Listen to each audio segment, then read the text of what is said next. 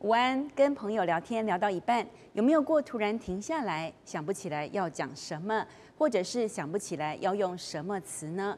加拿大研究说，说话忘词或者是卡卡的，这是正常老化现象。语速变慢，也就是讲话的速度变慢，才是失智警讯。研究人员说，说话忘词这种情况，在年纪越大的人身上。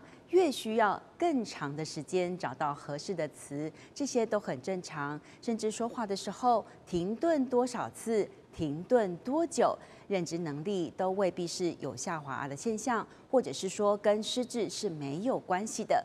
还有一种类似的舌尖现象，也就是明明知道要说什么，却说不出口。这个在过去的研究当中也有发现，其实跟失智症。没有直接的关系。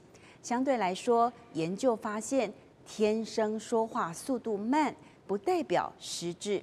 可是，如果讲话的速度在短时间之内，比方说几个星期之内，讲话的速度突然变慢了，可能反映出来的是大脑出现问题，就和失智有关系了。所以说，语速变慢比起忘词，反而是。认知能力下滑、失智更重要的指标。几十年来，很多人一直把找词很困难看作是认知能力下降的症状。但是现在的新发现，有可能改变医界一直以来诊断失智症的方法哦，甚至说是可以用在开发特定的侦测仪器，及早掌握患者的。脑健康来预防更严重的失智问题。虽然研究发现语速跟失智有关系，但是科学家也提醒我们，现在还没有办法证明训练自己讲话更快可以预防失智。因此，现在大部分的专家都同意，预防失智的方法之一就是经常使用外语。巴黎的脑部专家说。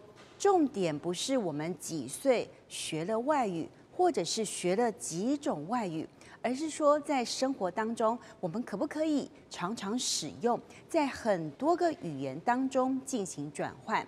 因为当我们用外语的时候呢，就可以抑制母语的使用。当我们试着要去想起外语当中。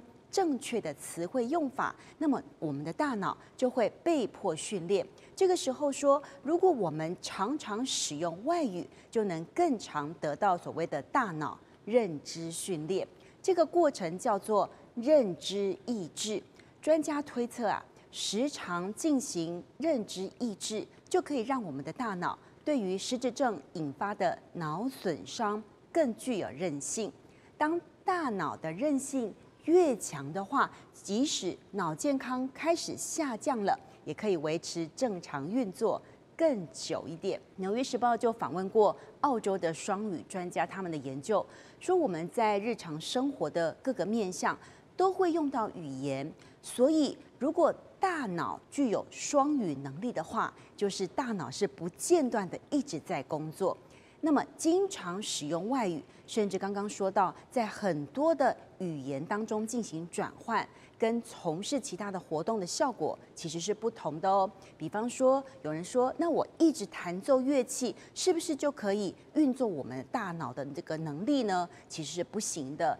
对于认知促进抑制呢，是不可以一直在进行当中的。